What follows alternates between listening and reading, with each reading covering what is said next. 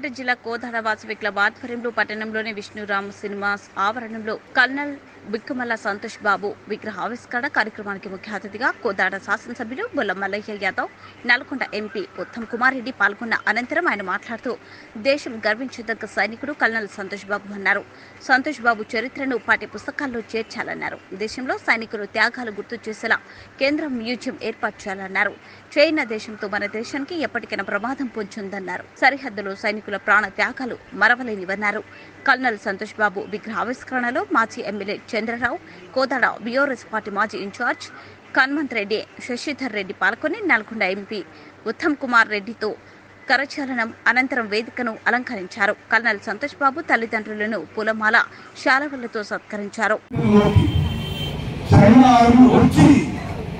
కూడా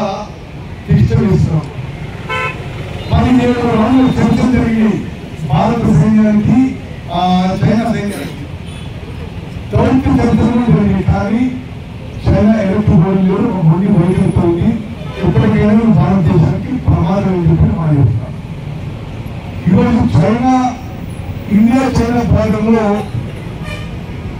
అత్యంత చలిగా ఉంటుంది. అసలు వంద కిలోమీటర్ల వరకు మనుషులు పోయారు అసలు ఆహారం తినాలంటే కూడా చాలా కష్టమైన పని. అక్కడ మన వీర జవాన్లు దేశ సరిహద్దు సరిహద్దులు కాపాడడానికి